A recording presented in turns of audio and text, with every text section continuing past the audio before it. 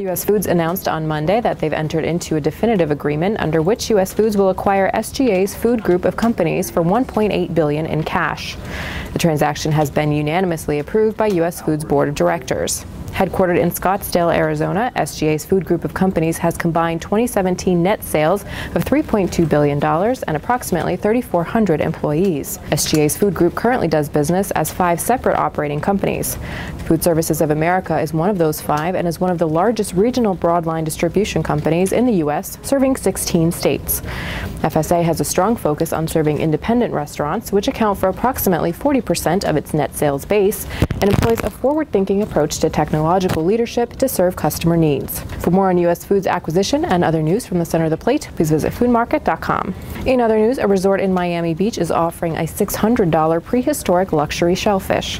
Here's Seafood News staff writer Amanda Buckle with the story. If regular old shellfish isn't doing it for you anymore, then you may need to head to the Fontainebleau Resort in Miami Beach, Florida. The resort is boasting what they call a prehistoric luxury shellfish, an 8 pound Norwegian red king crab that will set you back $600. Yes, $600. This 8 pound wonder is kept in the resort's special saltwater water world tank and once sold will be steamed and served deconstructed with four sauces.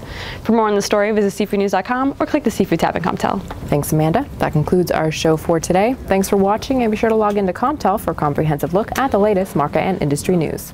Today's video is sponsored by the NAMP Meat Buyer's Guide Online, an interactive way for you to learn and understand more about the items you buy and sell.